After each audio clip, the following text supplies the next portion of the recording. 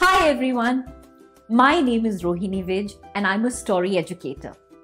We all know that books are amazing. But did you know that reading to young children can significantly enhance their brain development? Yes. Research has shown that reading to young children has a profound impact on their cognitive development and overall brain function. I have come up with an acronym that will help you prepare well and conduct a good read aloud session. All you need to do is remember a simple word pages.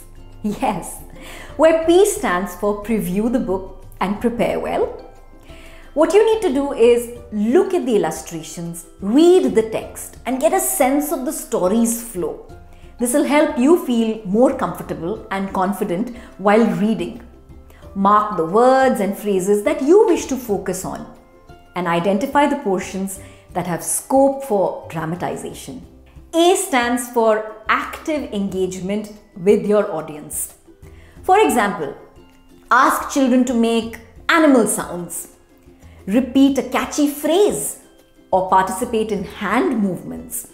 This adds a lot of fun and an interactive element to the reading. G stands for gauge the audience reactions while reading a picture book. As you read aloud a picture book, pay attention to children's reactions and adjust your reading style accordingly. Some children may prefer a quieter and more soothing reading style, while others may enjoy a more animated, energetic reading experience.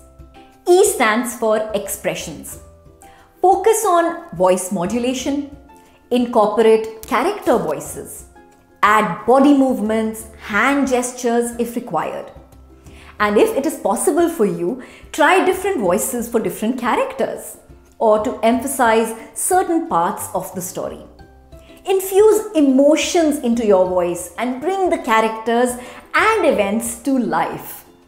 Children enjoy hearing expressive and engaging readings.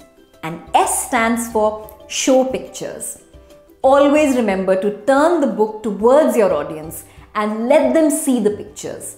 Point out details, ask questions, and encourage them to interact with the images. The combination of words and pictures enhances their understanding as well as the enjoyment of the entire reading experience. So remember, while you're preparing for a read aloud, simply keep pages in mind.